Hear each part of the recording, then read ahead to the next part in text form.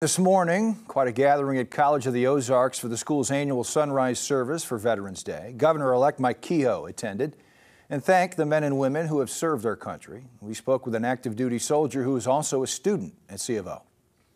Today is very important to us. So we as students are here and we are privileged to be here because of the sacrifices that our veterans have made for us previously.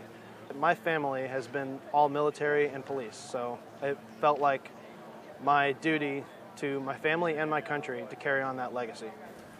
Tomorrow at 2, you can catch the school's patriotic play. It's titled Breaking the Silence Stories of Vietnam Veterans.